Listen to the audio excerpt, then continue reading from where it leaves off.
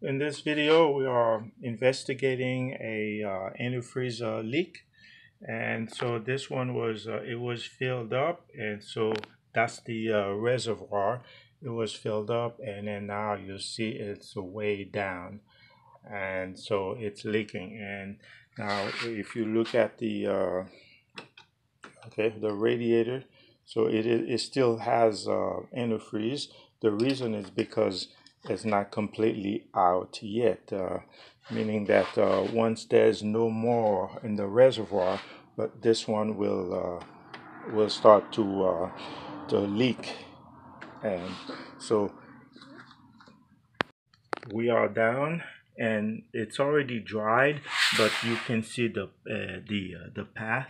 That's where the the leak. So the leak came up it, I saw it was uh, down here dripping from uh, uh, from here, from here, but that doesn't mean that it's right. It's right here, so it could be a hose uh, anywhere, but the the water just uh, flow and follow a uh, a better path. So what we are going to do here is uh, I'm uh, going to uh, remove this uh, uh, cover here. Uh, I'll call it mud, uh, mud guard or anything you can call it, but that's to protect the uh, yeah the part. So uh, several bolts. You can see here. You see, okay, little bolt here, and then uh, there's another one here, and then some fasteners. So let's do that and so we can see exactly where the leak is coming.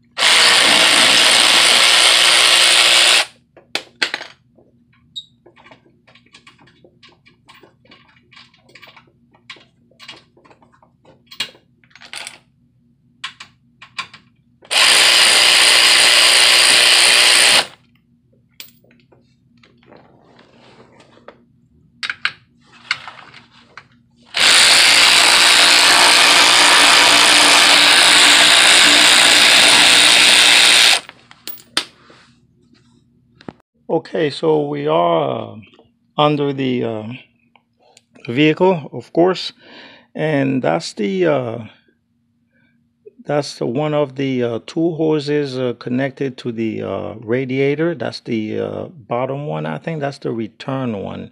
Yes, the return one, and you can see it is all dried. There's nothing around it. there's no leak, no moisture and so let's just follow along and these are condense, uh, condenser uh, line. So uh, yeah don't worry about those. And now this is where I suspected the leak was and then that's where it is. So now you can see here that's also to cool off the uh, yeah the system. And that's a uh, high power line and even though it's it's rusty but it's not leaking. And I looked and I see the leak. Stuff is falling in my face. The yeah the leak is on the the bottom of the radiator. Uh, somewhere around uh, let's see yeah here. That's where it is.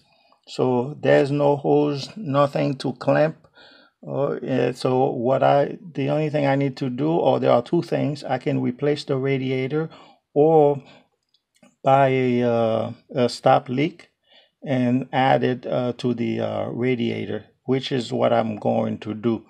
So to do this job, you can um, either add it to the uh, reservoir and it will uh, go down to the radiator. But if you have access to the radiator, then you add it directly into the radiator, which I will do. So now I have to go to the uh, auto parts store or Walmart and get a stop leak for the radiator. I went to uh, auto parts or AutoZone and I bought this uh, radiator uh, um, stop leak and uh, this one it, it requires uh, that we put it directly in the radiator, not the uh, overflow or the reservoir. so now you see as the because uh, the radiator is uh, is full and so I'm going to uh, drain a little bit out of it from the bottom using the the the drain plug down there every radiator has a drain drain plug and this one it was so obvious and I didn't see it. I looked uh, all over because generally they don't look like this. They uh, they have a little bit of a, a head uh, where you hold it. But uh, this one is uh, is a screw. So you see how um, it's still uh, it's leaking it's dripping. And and I haven't even I have not even started the car yet so to, uh, to do this, I will uh, loosen it up and remove uh, some and, uh, and then put this, uh, put it back. Find out where it's going to be coming out. Hopefully it's the same hole.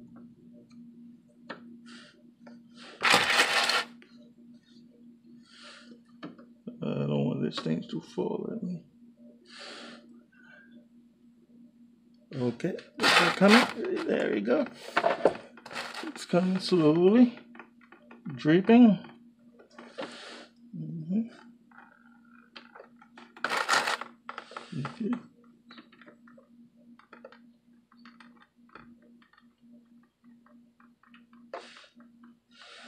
Okay.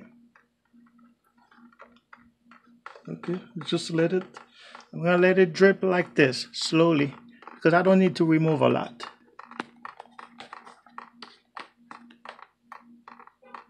All right, so it is low enough so I can go, just go ahead and, uh, and stop it down there.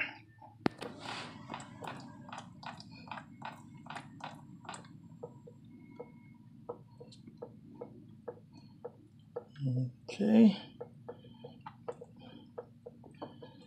All right, now it's, it is tight.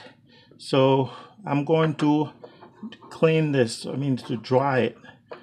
Okay, that's how I'll know if it's still leaking. So just to, to, to dry this area off.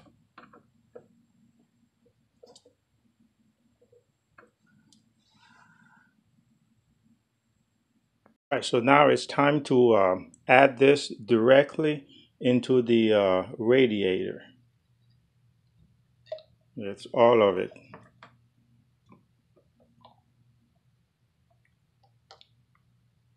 What yeah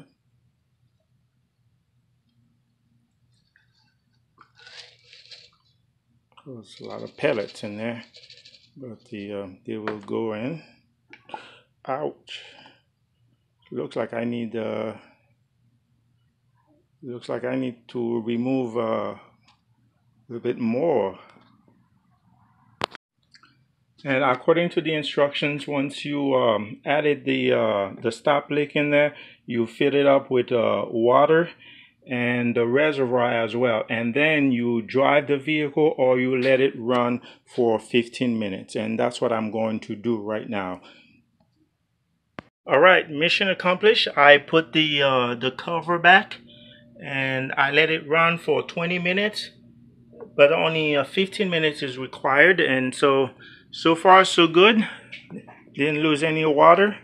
So yeah. And then uh, in the next uh, couple of days and I will be uh, watching the uh, yeah the level of the water on the reservoir. So quick fix. Thanks for watching